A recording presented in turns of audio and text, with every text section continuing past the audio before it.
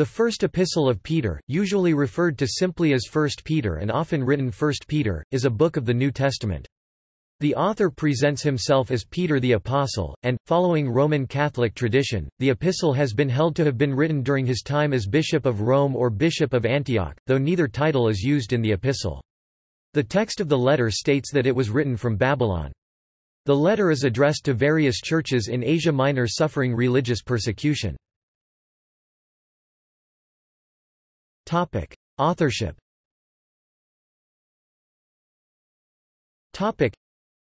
the authorship of 1 Peter has traditionally been attributed to the Apostle Peter because it bears his name and identifies him as its author 1 to 1.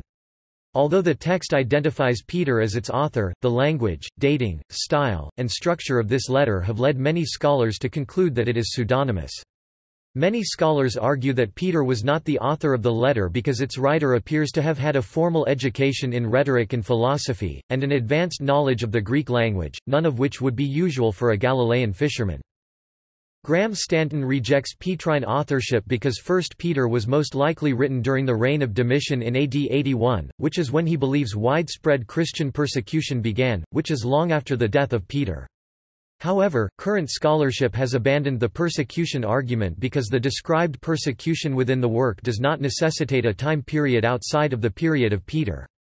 Other scholars doubt Petrine authorship because they are convinced that 1 Peter is dependent on the Pauline epistles and thus was written after Paul the Apostle's ministry because it shares many of the same motifs espoused in Ephesians, Colossians, and the pastoral epistles. Others argue that it makes little sense to ascribe the work to Peter when it could have been ascribed to Paul. Alternatively, one theory supporting legitimate Petrine authorship of 1 Peter is the secretarial hypothesis, which suggests that 1 Peter was dictated by Peter and was written in Greek by his secretary, Silvanus 512.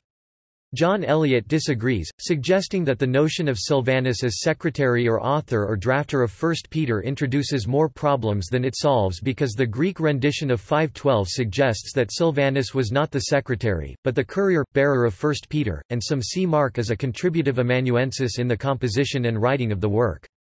On the one hand, some scholars such as Bart D. Ehrman are convinced that the language, dating, literary style, and structure of this text makes it implausible to conclude that 1 Peter was written by Peter. According to these scholars, it is more likely that 1 Peter is a pseudonymous letter, written later by one of the disciples of Peter in his honor. On the other hand, some scholars argue that there is enough evidence to conclude that Peter did, in fact, write 1 Peter. For instance, there are similarities between 1 Peter and Peter. S speeches in the biblical Book of Acts, an early attestation of Peter. S authorship is found in 2 Peter AD 60-160 and the letters of Clement AD 70-140, all supporting genuine Petrine origin. Ultimately, the authorship of 1 Peter remains contested. Topic: Audience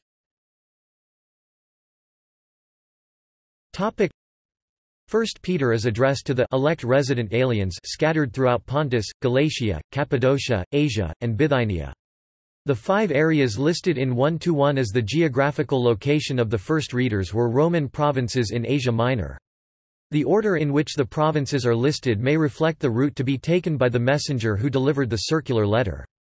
The recipients of this letter are referred to in 1-1 as exiles of the dispersion. Quote, in 117, they are urged to live in reverent fear during the time of your exile. The social makeup of the addressees of 1 Peter is debatable because some scholars interpret strangers one to one as Christians longing for their home in heaven, some interpret it as literal strangers, or as an Old Testament adaptation applied to Christian believers. While the new Christians have encountered oppression and hostility from locals, Peter advises them to maintain loyalty to both their religion and the Roman Empire 1 Peter chapter 2 verse 17, the author counsels 1 to steadfastness and perseverance under persecution 1 to 2:10 2 to the practical duties of a holy life 2:11 to 3:13 3 he adduces the example of Christ and other motives to patience and holiness 3:14 to 4:19 and 4 concludes with counsels to pastors and people chap. 5 topic outline. Topic. David Bartlett lists the following outline to structure the literary divisions of 1 Peter Greeting 1 to 1-2 Praise to God 1 to 3-12 God's holy people 113 to 210 Life in exile 211 to 411 Steadfast in faith 412 to 511 Final greeting 512-14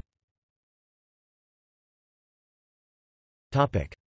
Context. Topic the Petrine author writes of his addressees undergoing various trials 1 Peter chapter 1 verse 6, being tested by fire 1 to 7, maligned as evildoers 2:12 and suffering for doing good 3:17. Based on such internal evidence, biblical scholar John Elliott summarizes the addresses' situation as one marked by undeserved suffering. Verse 319, "Spirits in prison." Is a continuing theme in Christianity, and one considered by most theologians to be enigmatic and difficult to interpret. A number of verses in the epistle contain possible clues about the reasons Christians experienced opposition. Exhortations to live blameless lives 215, 3-9, 13, 16 may suggest that the Christian addressees were accused of immoral behavior, and exhortations to civil obedience 213-17 perhaps imply that they were accused of disloyalty to governing powers. However, scholars differ on the nature of persecution inflicted on the addressees of 1 Peter. Some read the epistle to be describing persecution in the form of social discrimination, while some read them to be official persecution. Topic: Social discrimination of Christians. Topic: Some scholars believe that the sufferings the epistle's addressees were experiencing were social in nature, specifically in the form of verbal derision.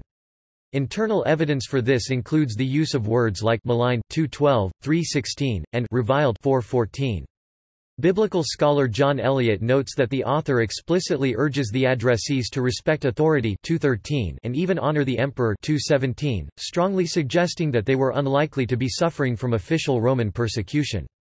It is significant to him that the author notes that your brothers and sisters in all the world are undergoing the same kinds of suffering 5 9, indicating suffering that is worldwide in scope. Elliott sees this as grounds to reject the idea that the epistle refers to official persecution, because the first worldwide persecution of Christians officially meted by Rome did not occur until the persecution initiated by Decius in AD 250. Official persecution of Christians on the other hand, scholars who support the official persecution theory take the exhortation to defend one's faith 315 as a reference to official court proceedings. They believe that these persecutions involved court trials before Roman authorities, and even executions. One common supposition is that 1 Peter was written during the reign of Domitian AD 81 96. Domitian S aggressive claim to divinity would have been rejected and resisted by Christians. Biblical scholar Paul Achtemeier believes that persecution of Christians by Domitian would have been in character, but points out that there is no evidence of official policy targeted specifically at Christians. If Christians were persecuted, it is likely to have been part of Domitian's larger policy suppressing all opposition to his self-proclaimed divinity. There are other scholars who explicitly dispute the idea of contextualizing 1 Peter within Domitian's reign. Duane Warden believes that Domitian's unpopularity even among Romans renders it highly unlikely that his actions would have great influence in the provinces, especially those under the direct supervision of the Senate such as Asia one of the provinces 1 Peter is addressed to, also often advanced as a possible context for 1 Peter as the trials and executions of Christians in the Roman province of Bithynia Pontus under Pliny the Younger. Scholars who support this theory believe that a famous letter from Pliny to Emperor Trajan concerning the delation of Christians reflects the situation faced by the addressees of this epistle. In Pliny's letter, written in AD 112, he asks Trajan if the accused Christians brought before him should be punished based on the name Christian alone, or for crimes associated with the name. For biblical scholar John Knox, the use of the word name in 414-16 is the crucial point of contact with that in Pliny's letter. In addition, many scholars in support of this theory believe that there is content within 1 Peter that directly mirrors the situation as portrayed in Pliny's letter. For instance, they interpret the exhortation to defend one's faith with gentleness and reverence in 315-16 as a response to Pliny executing Christians for the obstinate manner in which they profess to be Christians. Generally, this theory is rejected mainly by scholars who read the suffering in 1 Peter to be caused by social, rather than official, discrimination. The harrowing of hell